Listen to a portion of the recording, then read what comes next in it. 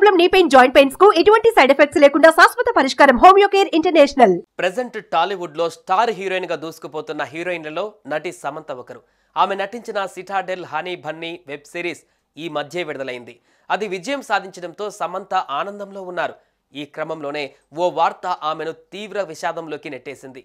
అవును ఆమె తండ్రి జోసెఫ్ ప్రభు శుక్రవారం కన్నుమూశారు ఇదే విషయాన్ని సమంత ఇన్స్టాలో పోస్ట్ చేస్తూ వెల్లడించారు. నాన్నను ఇక కలవలేనంటూ హార్ట్ బ్రేక్ అయిన ఎమోజీని జత చేశారు.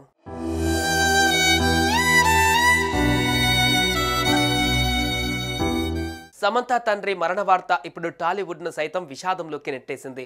ఈ విషయం తెలుసుకున్న సినీ ప్రముఖులు అభిమానులు ఆమెకు ప్రగాఢ సానుభూతి తెలియజేస్తున్నారు.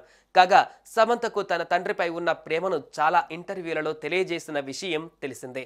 ఇక ఉన్నట్టుండి ఆమె తన తండ్రిని కోల్పోవడంతో కన్నీటి పర్యాంతమవుతున్నారు. ఇకపోతే సమంత విడాకుల వ్యవహారంతో పాటు ఆమె అనేక రకాల సమస్యలకు గురవుతూ వస్తున్నారు. అప్పటి నుంచే ఆమె తండ్రి జోసెఫ్ ప్రభు మానసికంగా కృంగిపోయినట్లుగా తెలుస్తోంది.